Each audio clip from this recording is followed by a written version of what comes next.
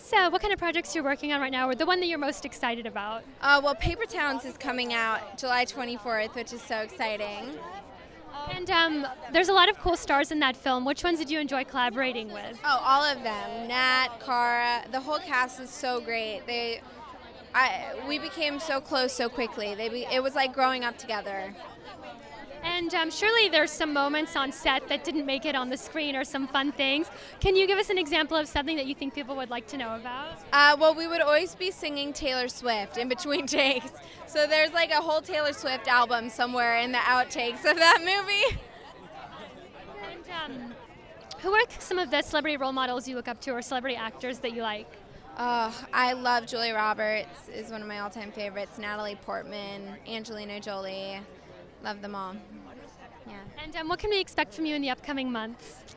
Uh, Paper Towns, and then in October I have two movies coming out Goosebumps and Scouts vs. Zombies. So it's an exciting year.